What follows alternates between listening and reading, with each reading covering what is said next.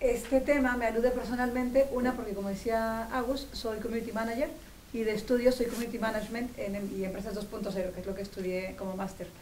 Y me interesa mucho porque creo que, que las redes como marcas van a cambiar. O sea, tenemos Facebook, eh, Twitter, Instagram, tal, pero cambiarán. Pero el principio que tiene de fondo es el que ya llegó para quedarse. La manera de conocernos, de relacionarnos, de estar continuamente buscando al otro que es distinto, pero las, eh, las marcas de las redes cada vez nos hacen algoritmos más cerrados y de conversaciones más endogámicas y estar en contacto más con los que ya conozco, es curioso, son marcas que nos venden una cosa cuando en el fondo nos llevan a hacer justo lo contrario, ¿no?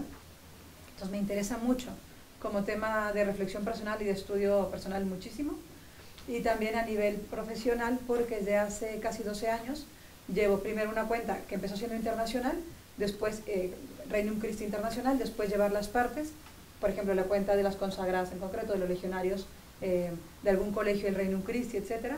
Y la mía personal. Entonces, a la vez fui viendo lo que aporta eh, una marca o una cuenta personal y cómo interactúan y que de hecho no responden a los mismos patrones y tal. ¿no?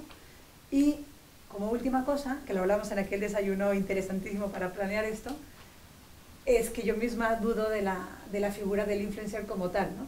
de que a alguien le sigan 7.000 personas o 15.000 personas pues no es índice más que de mucha reproducción de un contenido. Pero, y eso influye, pero es tan fugaz ahora, ¿no?